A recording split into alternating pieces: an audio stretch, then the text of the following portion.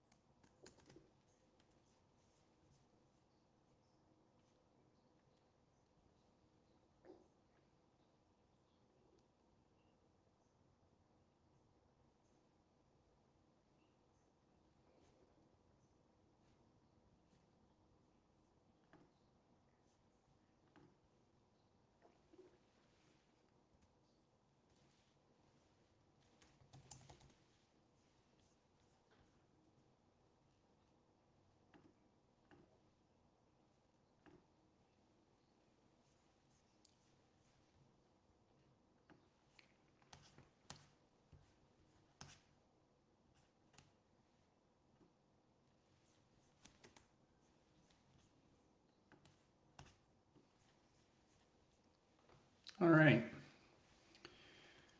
Welcome everyone to the tools team meeting for May.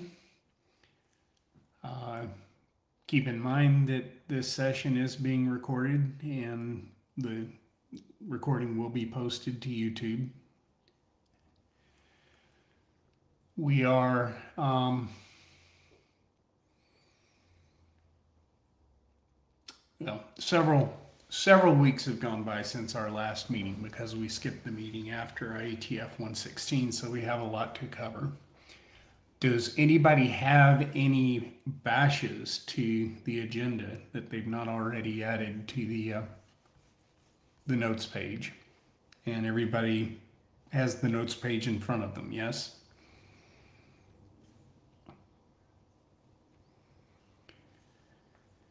Not hearing any bashes.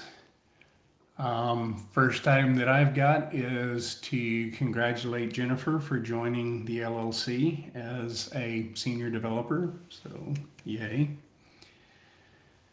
Um, we have Paul Selkirk. He is um, sharing video. Yeah, just waved his hands, joining us from Painless Security. Um, has already landed a PR. It's been merged into main. Should be part of this week's release. So, well on our way. Good start. So we had a tools team retreat at the end of April, um, right before the beginning of May. We met in Montreal. Um, we had Lars for one day of it. We spent quite a bit of time uh, talking about how we're going to prepare for the change in the IT infrastructure, um, how we were handling our basic deployments, um, the interaction with the CDN, how we're going to be doing releases going forward, automating um, our releases into a you know cloud, uh, an infrastructure that assumes that we're deploying into into cloud services. Um, and then you can read the rest of the bullet list. If you've got any questions about the things that we went into, let me know. Um, one note at the end is that we do know we've got a few um, strategy paths that we're um, going to start pursuing, and we're going to write those up and put them out for community feedback over the next few weeks. So far, I haven't heard anybody say anything. I'm assuming audio was working for me, but if you said something and I haven't heard it, please um, raise raise an issue. Anybody have any questions about the tools? For yeah, thank you.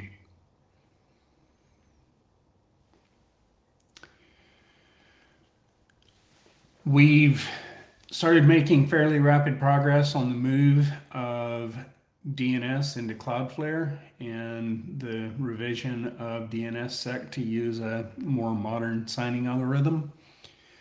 You can uh, track the link that's in the notes to the card on the roadmap that shows where we are. We've finished irtf.org. We are going to start uh, with rfc-editor.org later today. Um, IETF.org will go last. be either later this week or next week unless we run into trouble. We also have a large number of domains that we're holding because we don't want someone else to use them, but they're not really um, doing anything. At the most, they're doing a redirect. Um, most of them are just doing nothing. Um, those are in the process of, of being moved. Um, we had expected to have them done before this call, but have been running into some impedance with that registrar. Um, but I think we're working through it. Uh, this has been quite an eye-opening experience for me with just how difficult it can be to deal with the, uh, um, as they call it, losing registrar when you're changing the registrar for a domain. And in particular, some of the registrars that we've been using are um, not the same companies that they were when we initially started using them. Anybody have any questions about our changes to DNS?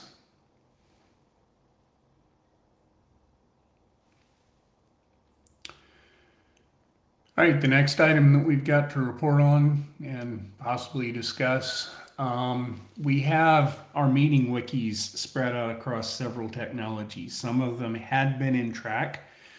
Um, as we'll talk about a little bit later on, Trac's been turned off. Um, the uh, we do have the flat HTML that we created, and we have the meeting wiki part of the um, flat archive that we made for those meeting wikis that were in Trac. We also have several meeting wikis that were in DokuWiki, um, sitting under www.ietf.org slash registration, and then modern meeting wikis are in um, Wiki.js. We already have some RFCs that have linked into meeting wikis. The RFC that talks about um, running hackathons in particular has many links into um, these older meeting wikis.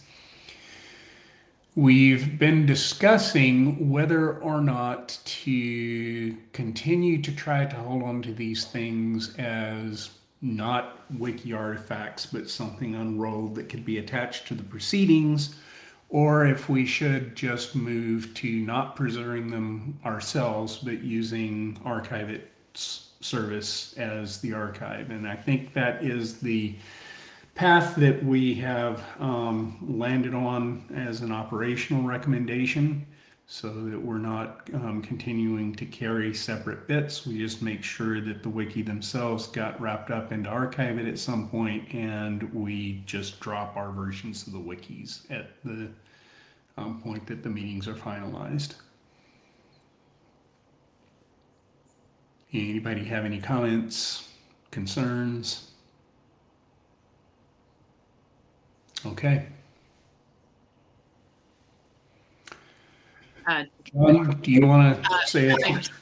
Go ahead, Alexis. Um, I do want to say uh, web archiving is an awesome idea. I think that is great. We should do it regardless. Um, it can be a very finicky kind of process to make sure you actually got every single URL. So it's not a it's not a tiny undertaking, but um, we we just need to make sure at least the when we do it that we are very very thorough. So i think you're going to want to give like a month or two of leeway to make sure that we got through everything because the the the crawls can run for like a week at a time and then you need to do like qa make sure you've got everything figure it out go run another crawl et cetera et cetera. So i just want to give you a heads up that that is a, a relatively uh, ponderous process. Sure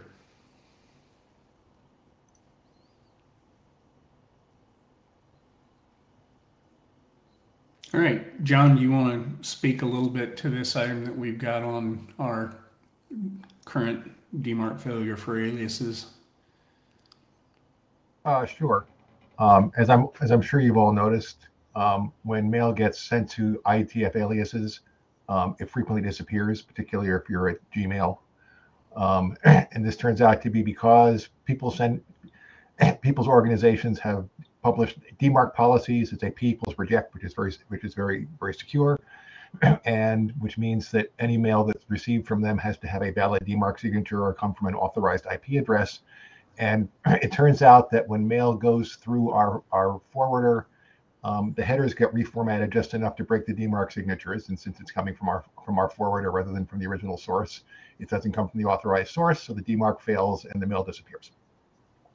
So it seemed kind of like why was it reorganizing the the why was it reformatting the headers? So I, I took a look in the code, which is ancient and messy.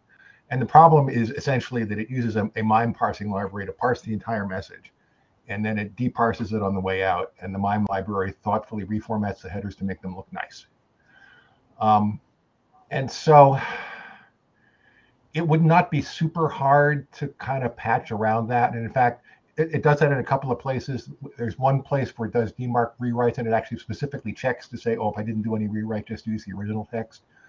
Um, and I could pretty much go, and it wouldn't be super hard to go back and patch around the places where it does it in other places would be not totally trivial because sometimes it adds some headers you need to part you, you need to splice it into the string but i'm reluctant to do it just because the module is such a piece of garbage it's got two thirds of two, two thirds of the module are copies of random random libraries that duplicate stuff that's now in the standard python library and there's places where like it reads its own it reads, it reads its own source code to look for, look for the string arguments to put in the help text so kind of depending on how long it's, it's, it's going to take before we want to re- redo it. I mean, if, it, if it's going to be a year, it's probably worth fixing. If it's only, going to be a month or two, I would rather push to rewrite the whole thing in Python 3 because it's going to end up a quarter of the size and more functional. Oh yeah, and there's the final thing I, I put in the in the in the in the notes, which is even if we fix the DMARC problem, there are a significant number of people who only authorize only authenticate with SPF which means that even even if we even if we did nothing whatsoever and passed through the literal bits, the DMARC would still fail. So we still need to do some sort of hack similar to what we do for rewriting the addresses on um, mailing lists, which yeah. is ugly, but I don't know any way around it. John, just to be clear, is it for the aliases like a draft.all or something like that? Not for the mailing list, right? Uh, sorry, it's it's hard to hear you. Uh, sorry. The issue is only when you are using aliases like draft blah blah blah blah dot all. Yeah. Well, if it doesn't go through, no, it's it has the same. Our mailing lists have the same issue, but we have a but we we, but we slapped a band-aid on the on the mailing list that rewrites the from line. So mm-hmm. this is yeah this is this is this is yeah. The answer to your question is yes. This is when it, when it goes through you know, to draft blah blah or to the various role accounts, you know, if it's mailing to the I to the uh to to, to the DMARC cheaters. Yeah. yeah. Thank you. So the rewrite that John's talking about is to Python 3 is going to come with Mailman 3. Right now, the the library that um, we're talking about is necessarily um, Python 2.7 because it integrates with Mailman 2 quite closely, which is a Python 2.7 package. Um, I actually have a way to work around that. I, I, I basically like it, it, would be possible just to write a little stub that just just uh, just use enough type that just called enough Python 2.7 because all it's all it's integra- all it's doing with Mailman is pulling out the names of the mailing lists. So right. So we, okay, if we wanted to, we could hack it, but again, uh, is it worth it? Yeah. So the Mailman 3 transition is um, expected to be later this year. Um, you can see where we have it on our roadmap, but there is um, uncertainty around how we're going to approach it that is expected to resolve with the RFP process that we're about to go through. Um, we want to understand what our um, bidders to the RFPs are proposing for um, management before we have a really good feel for the timing of what we're going to do with these modules. So um, I think, John, you and I should continue to talk. It might be worth doing a smallish fix. Um, I don't know that a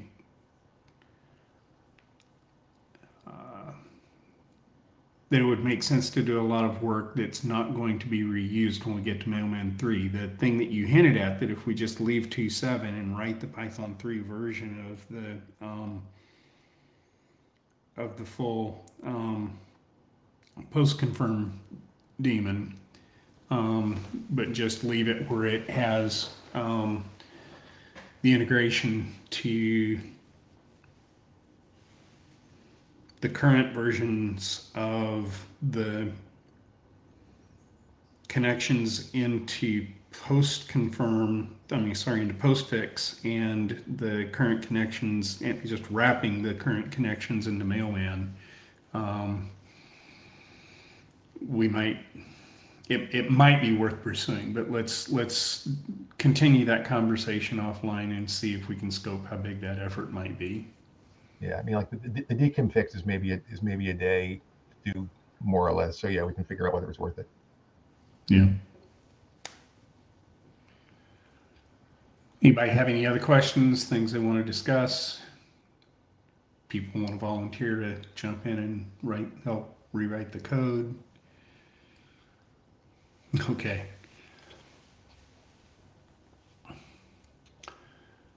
Kesara, we've got a um, IAB website transition effort in progress. The uh, one of the things that we've been working on is extracting the uh, um, artifacts that are currently in WordPress and in the Word in in the primary website, um, reflecting IAB minutes and IAB statements. In the primary website, we've got IESG statements. Um, we're going to be moving these into the data tracker. We have had um, several discussions over the last week about what the modeling for that is going to be. The, it's pretty well understood what the modeling for the minutes are going to be and what the modeling for the statements are going to be. Um, one of the sets of artifacts that are out there are appeals. Um, we're having a discussion about how we're going to model appeals going forward as they have a different structure from other just document types and that there's a uh, appeal response and further correspondence relationship that we need to make sure that's um, natural to um, work with as as we go forward. So um, there's also quite a bit of work that's been taking place on modifying our um, set of wrappers, our extensions, if you would, to Wagtail to support um, moving the IAB website onto um, a Wagtail instance that's very similar to our www.ietf.org Wagtail instance. Kasar, do you want to talk for just a little bit about um, the activity that's been going and the testing that's been going on there?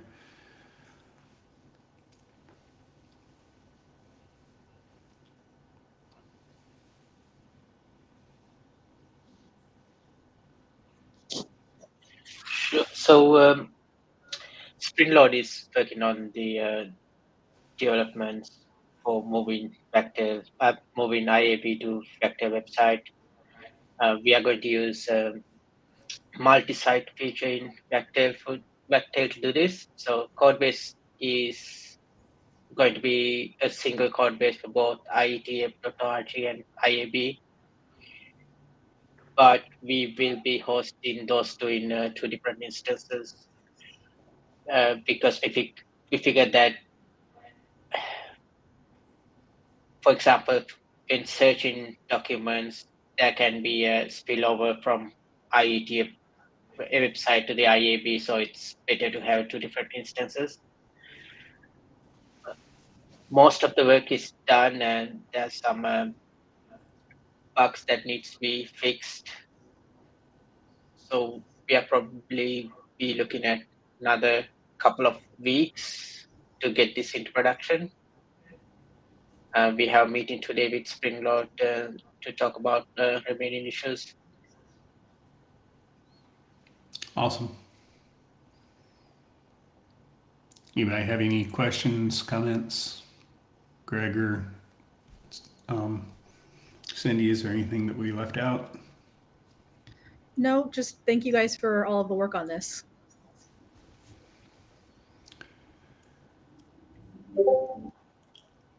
All right, Jay, do you want to talk about the uh, trust initiated tools changes?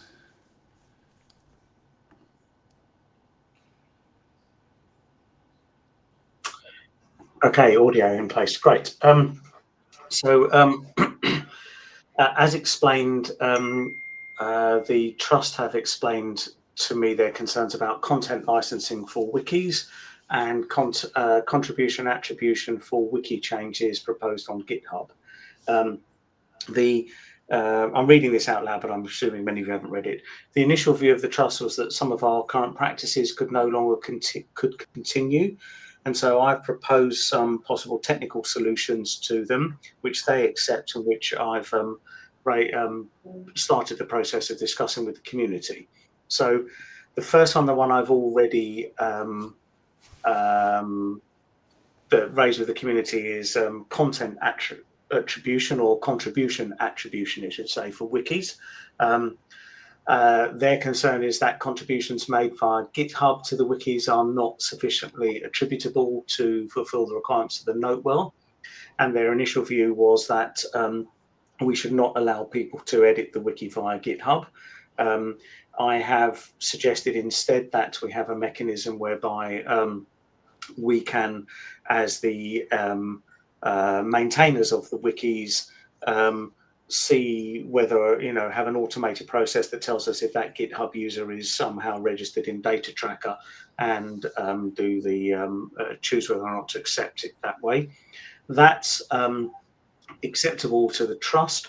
But when we've been, when I've raised that on the list for discussion, people have started arguing about the basic premise of whether or not a um, GitHub um, uh, a contribution is um, sufficiently attributable or, or, not to meet the requirements of the note well. And in that specific case, I'm only the messenger. So I'm hoping that the, the, the direct conversations with the trust will take place there, that the trust will respond to those on, on list about that. Um, the other one, which I haven't yet raised on the list, um, is about content licensing for wikis. Um, they are concerned that we can't have a blanket CC BY um, 4.0 license across the wikis because the wikis contain things that are contributions and need to be licensed um, under the TLP, the, the trust legal provisions. Um, for example, excerpts from RFCs and other things. Um, now, the initial view of the trust was that any such content should not be permitted, but we've actually had that content there for many, many years um, on the uh, wikis. We've just never been particularly clear about what the licensing of the wikis was. Um, and so um, I propose that instead we build a macro for the wiki that can be used to flag content under a different licensing scheme. So we apply one blanket licensing scheme to the wiki, whether that's TLP or CC BY is to be decided, and then anything that's an exception to be that is flagged as under that exception.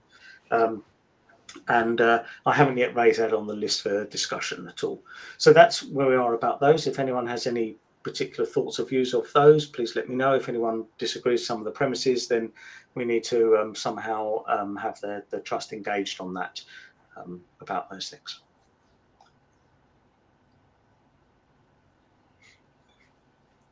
Okay, great. Well, I'll, I'll, continue on that on the list, and um, uh, the next one we'll just see where that goes. Thank you, Robert.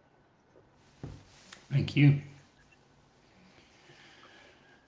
All right, we're through the section that I anticipated we would have discussion time on. Um, a really quick summary of what's in the FYIs. If we have a spot where we need to stop and discuss, just um, speak up.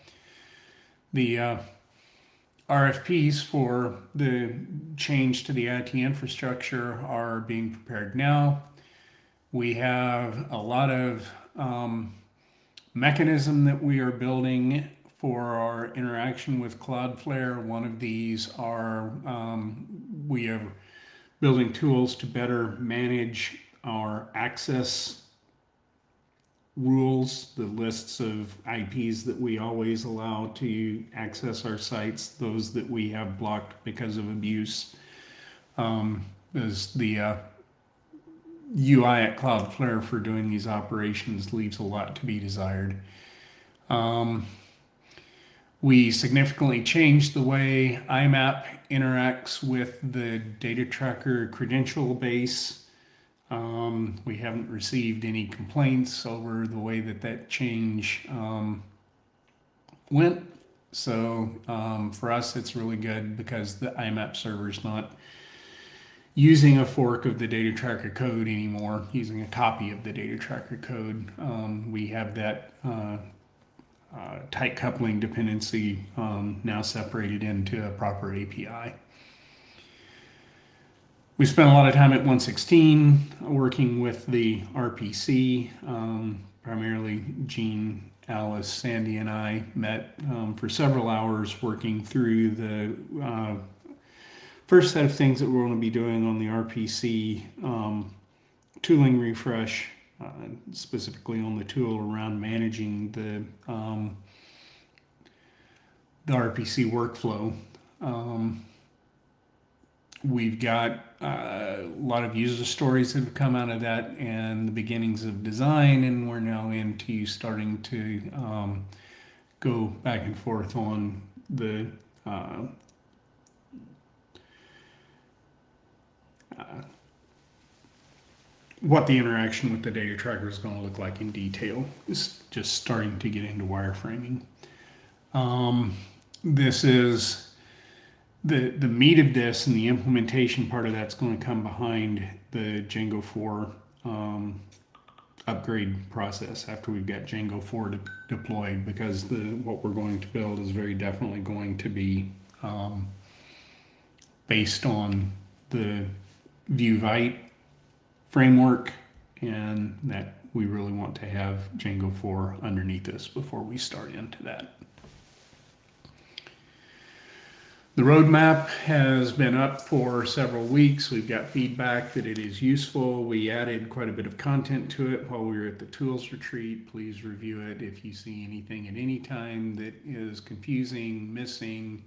Um, uh, raise the point on IETF discuss or directly with us, and we'll we'll make sure that the roadmap is giving the community a clear view of what we're actually um, working towards. We finished the data tracker um, Postgres migration. We had a hiccup with the um, timestamps that required uh, uh, pretty intricate hoop jump to fix, but we got through that. Um, we're watching performance with the instrumentation that we've got. We're not seeing that overall performance is significantly different, but performance for pages that people were particularly sensitive to um, have anecdotally improved. Um, we're suspecting that much of that observed, people observed improvement is in parts of the stack that our current tools aren't instrumenting. So we're looking at um, changing the our instrumentation to see further up the stack so that we can see what's happening um, with performance there. We'll be talking to um, Sirius Open Source later this week to schedule the next step in uh, managing our Postgres instances the next task is turning on replication between the Postgres instances at IETFA and IETFC. Right now, our um, failover strategy is that we would take one of the daily dumps um, and restore, but that would mean that if we had to failover, we would lose a chunk of a day. We'll have re um, replication set up over the next several days, and then we will evaluate whether or not there is a significant performance impact for having that replication running. We're not expecting there to be one, but we'll be monitoring that closely. And I'll send in a report once we have that data. So before the IETF 117, everything will be replicated, right? We'll get a standby in July. I'm expecting that we'll have that before um, the end of next week. Okay, thank you. So.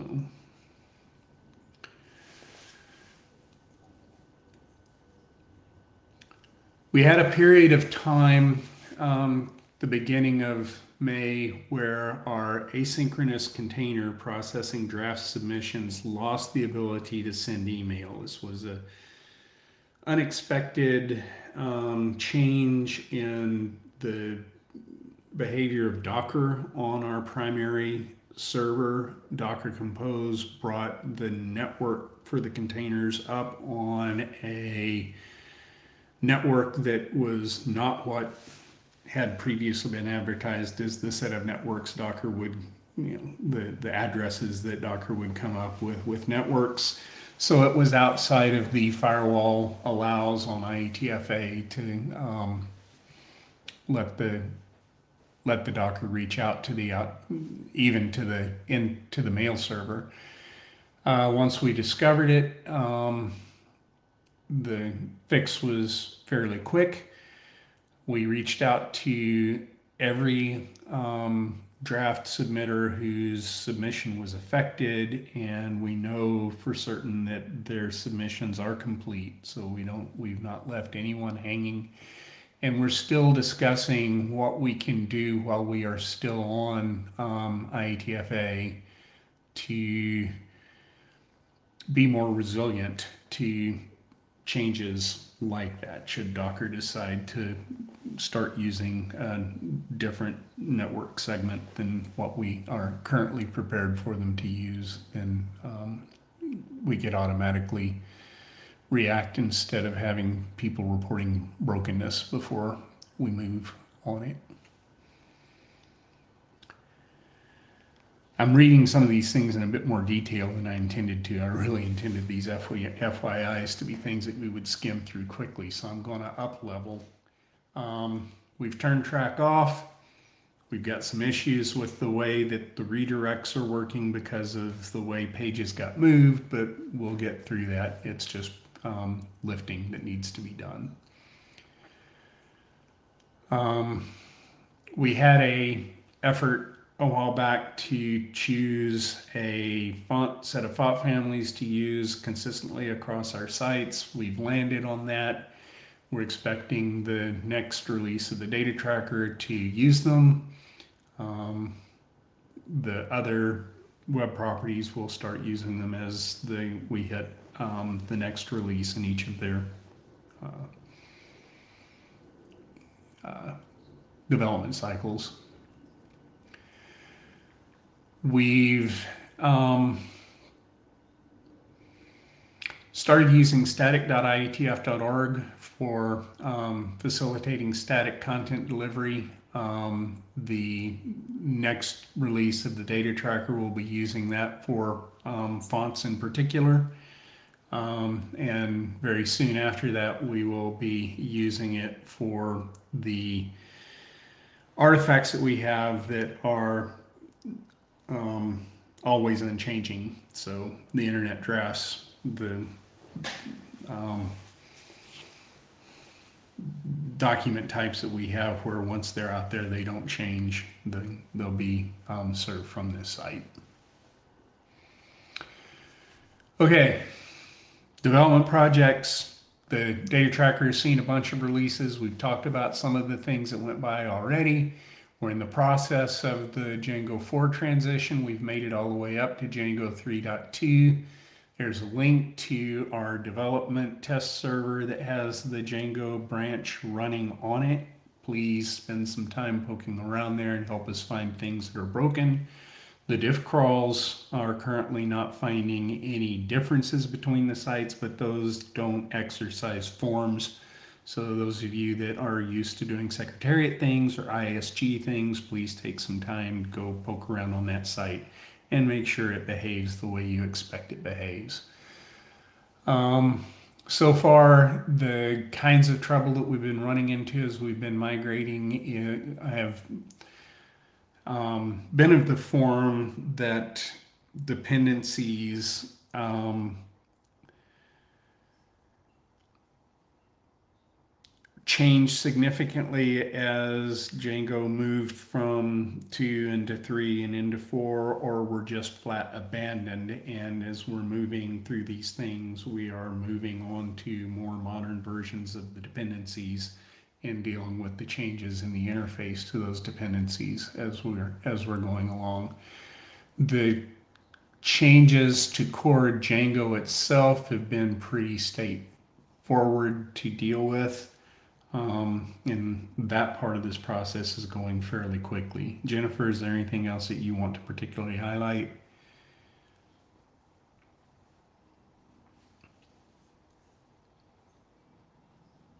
Uh, no, I think that covered it. Okay. So um, what we're planning to do in the short term now is to finish this migration into Django 4 to continue to move these artifacts that we discussed earlier into the data tracker. We have a couple of long outstanding problems that we're going to dive into shortly after that. We have to repair our reference relationships because the um, submission tool was building them on submission from the XML without expanding the um, includes. So anything that was in the repository in XML with a pronoun and XI include to a reference did not actually get captured as a reference in the related document sense in the data tracker. Um, we've got a workaround for that until we get to the um, point in the data tracker where we only accept fully expanded documents.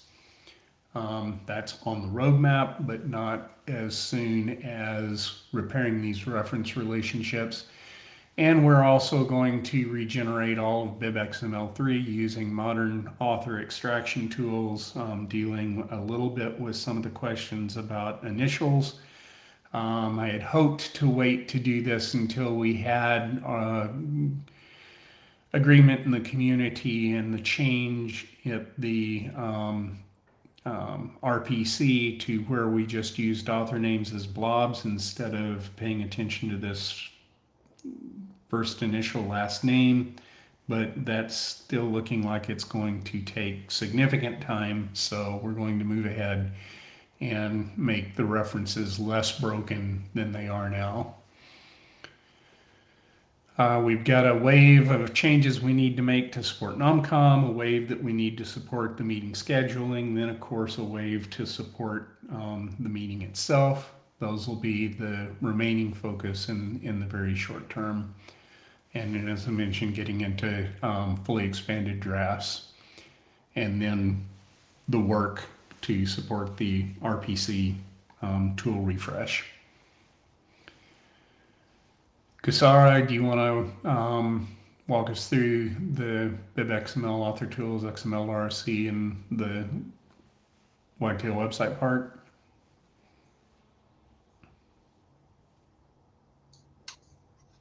Okay. On BibXML service, um, there are a few main bugs that one, one particular bug that needs to get fixed. They have the Ribose has fixed that upstream, so we need to get that into the BibXML service. Um, I will be going through the open issues for BibXML service and um, um, liaise with the Ribose to get the um, main ones fixed. any uh, questions about BibXML service?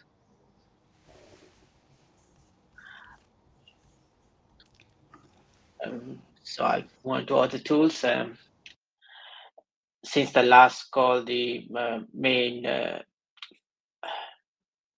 major development of auth tools is to um, add a way to uh, compare documents uh, without converting them into um, text. So uh, RFCD can be used to compare uh, XML files or Markdown files uh, without converting them. Um, and another change was um, the document comparison on AutoTools uses uh, RFCD by default. Um, there's a work on the way to switch between rfcdiff and iddiff, but I guess most people would be more compatible with rfcdiff. Um, any questions about AutoTools?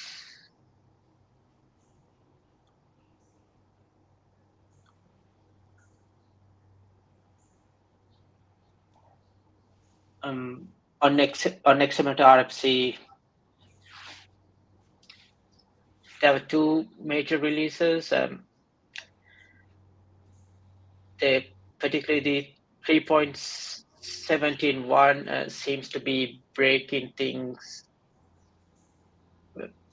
Some people seem to have issues with installing uh, the new version uh, because it's changed the way uh, setup files works to future-proof uh, XML to RFC. Uh, the one way, the easy way to fix that is uh, just upgrading the pip tool on your system. Uh, that should fix most of those issues. As for upcoming work, um, I am um, uh, compiling a, a, GitHub repository with all the fonts that uh, XML uses. Uh, right now, uh, the instructions are to use uh, Noto fonts, not Noto fonts from uh, Google, and the uh, repository that um, the the link to the uh, Noto fonts that we provide on XML RFC is uh, outdated. Uh, it's not uh, maintained anymore. So um, in the future, this font repository would be the font repository to go and get all the fonts required for RFC.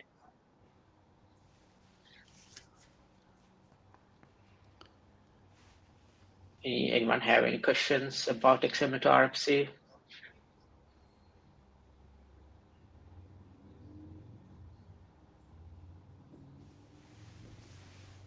Um, on Wagtail website, I think we touched, uh, we talked about the um, migration to IAB. Uh, apart from that, um, um, couple of other features that would be in the next release are uh, type tables, which um, allows you to like add tables with images and other content and uh,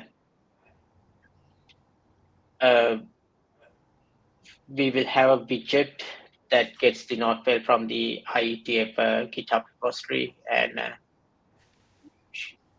show it whenever uh, that widget is used. So idea behind that is the node file would be in one place uh, and uh, rest of the services will just use that node file. Any questions about that?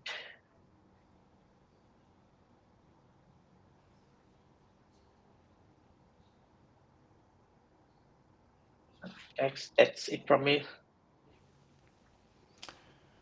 All right, Ryan or Eric, do you want to add anything to what's in the notes about Mail Archiver, Yan Catalog? So we've had a long running um, project that was um, cycle starved because we were focusing on off PD on at the IMAP server um, where we can allow mapping from one username to another to support people who have changed their primary login at the data tracker and move to the point where somebody can use any of the um, email addresses that the data tracker knows them by as their username when they log in. This doesn't mesh well with the um, core implementation of user at the IMAP server. So Alexey and Ryan and I have been um, working towards um, an ability to configure things in the middle so that a username can be mapped into another username inside IMAPD. So a data tracker username could be mapped into a different IMAP, the username. The first uh, attempts at making this go didn't um, succeed, but we're about to pick it up and, and make another run at it. That brings us to um, open discussion and any other business. Does anybody have anything else that they would like to talk about? So I missed the first part of the call, but I don't know whether you said it, Robert. Uh, there will be you will have two IESG liaison from now on, as Warren Kumari uh, should be my twins. Yep. I, Warren wasn't able to make the call today, or did we not just not give him? I was expecting him. Uh, no, I'm not sure whether he got the right information, right? So no, he has the right information for sure. Yeah, you know, we can make sure he's in. Um, Mallory Knodel is also um, joining us as the IAB liaison, and I think is on the call today. So I'm glad that we're getting um, all of the um, all the help and the the good communication with the the people that are using the tooling the most.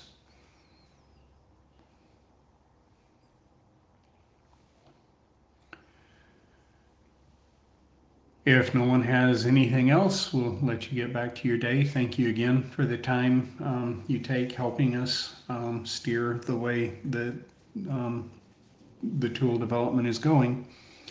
And we'll see you um, online between now and the next call.